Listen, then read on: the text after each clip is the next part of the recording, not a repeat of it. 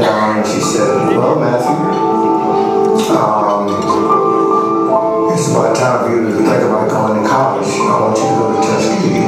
So I said, What is the hardest subject they have in Tuskegee? It's veterinary medicine. I said, That's what I'll take. Somebody asked me about young black males.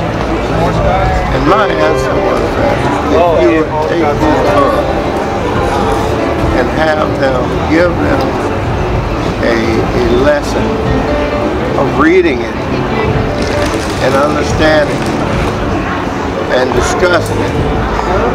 If they are B students, they become A students. If they're C students, they become D students.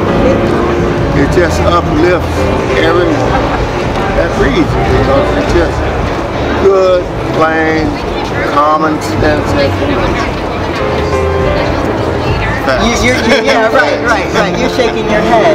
So it's one thing to say, work hard. It's one thing to say, persevere. But what happens when you are challenged? What, what happens then? What, When you're you challenged, then you buckle down.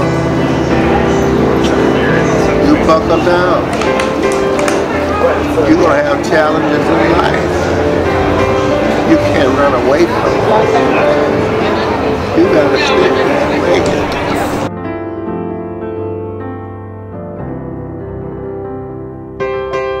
just speaking as a millennial, we're not taught these things. We're not taught to have a plan. We're not taught what to do or we're just put out, go ahead and we're just put out in the world to, to live free, go and, you know what I'm saying, find our own way. But sometimes we need some guidance and this book is guidance to success. So we need that.